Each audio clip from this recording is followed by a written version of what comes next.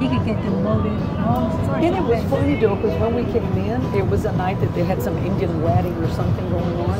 And then the lady at the front desk, she goes, oh, oh, it's her birthday.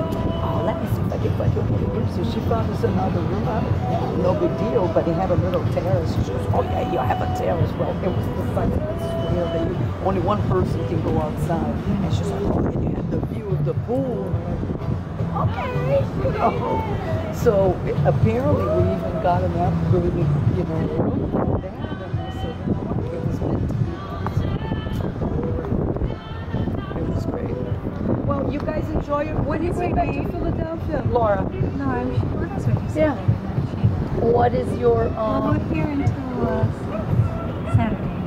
Oh, good for you. So you're gonna get lots of good weather. 'cause- Good weather yeah.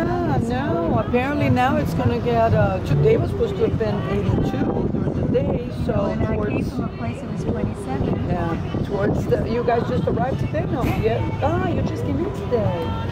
So yeah, prepare because probably you're gonna have nice, Well, nice weather by really tomorrow. colorful, cool clothes. Yeah, I hope you got your bikini and everything Well, I don't going. think I'll 'cause- have time for that, why?